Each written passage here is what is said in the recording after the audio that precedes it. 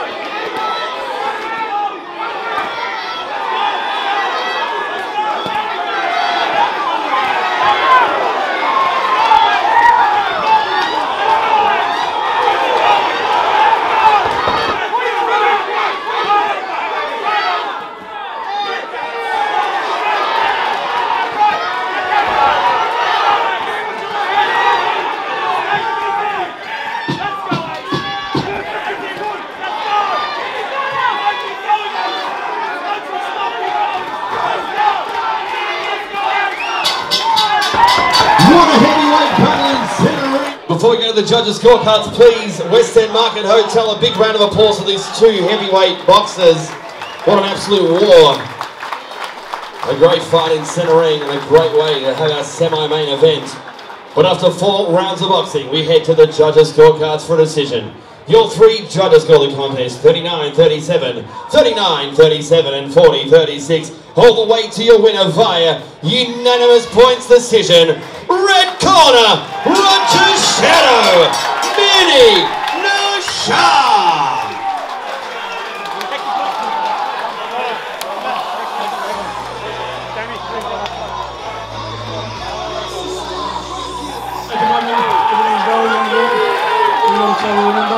I love everyone that come out and support me, all the boys from Royal, all the Hen again, thank you.